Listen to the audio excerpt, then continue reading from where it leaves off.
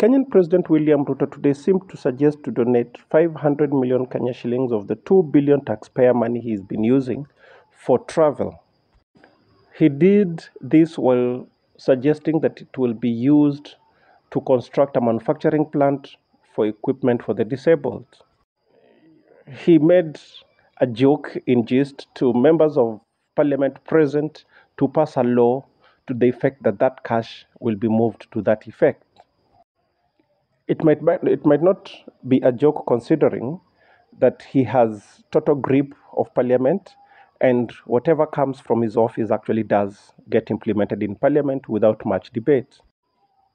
While it is important that the president travels and we're represented globally, we do have ambassadors and uh, high commissioners in all these countries, or majority of them, that he's been traveling to.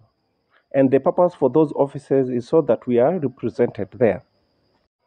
Let's have a listen at him while also remembering that this is a government that has been increasing taxes so that they are able to meet uh, cost of running government and also for purposes of paying the loans that they acquired during their Uhuruto presidency.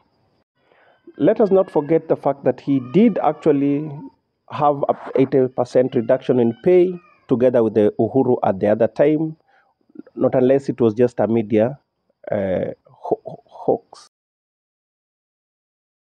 I want to ask our members of parliament who are here that uh, I'm going to adjust my budget again. I will knock off a few things, including the travel allowances and many of the things that are uh, in there, so that I can find 500 million shillings to give it for the to start the manufacture of local uh, devices. Uh, devices that will assist in learning by our children with special needs. So wabunge kina Meja Ndong mukubali. Mimi nitaenda nikate budget ya travel tuweke 500 million ya hii ya wao wanafunzi. Na nitalete bunge kesho, so mujipange huko. Na